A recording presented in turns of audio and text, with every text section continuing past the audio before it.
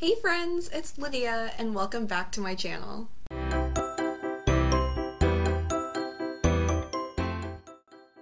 Today we're doing a fun engineering experiment called Save the Turkey.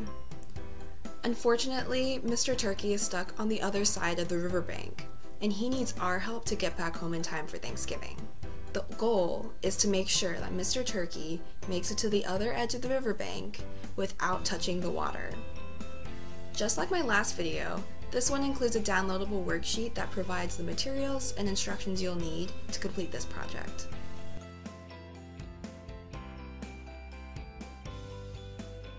Now when I tried this experiment, Mr. Turkey unfortunately got his feathers wet.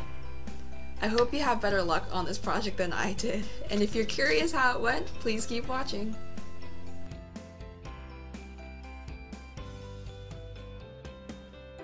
The first step is to make your turkey. Print the downloadable worksheet in the description box. Then color and cut out Mr. Turkey. You can embellish Mr. Turkey with extra feathers made of construction paper or leaves. Be as creative as you'd like. Next, use the planning page to help design your raft. Use the cranberries to connect toothpicks and create a raft that will save Mr. Turkey. The raft can be as tall or as wide as you'd like, as long as it can float. I started out with a flat raft with extra support along the base.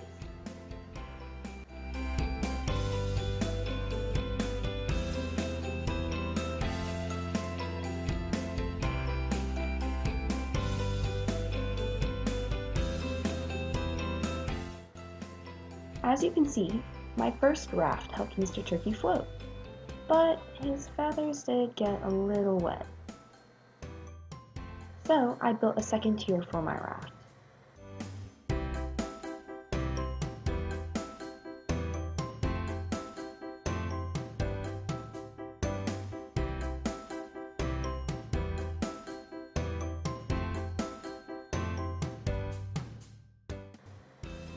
At first, this worked. You can see my raft is floating.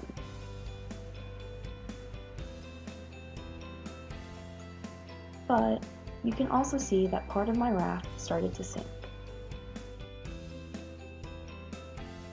I think this may have been caused by poking too many holes in my cranberries, so those cranberries lost their buoyancy. The water filled into those holes and thus my cranberries sunk.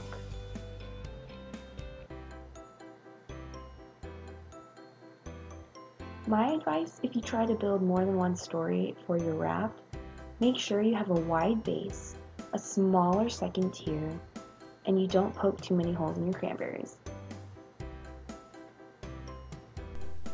I hope your mission to save Mr. Turkey went a little better than mine did. If it did, there are a number of ways to make this more challenging. You can limit the number of cranberries and toothpicks you use. You can race to see who builds the best raft in the shortest amount of time. Or you can see who can build the tallest raft and still save Mr. Turkey.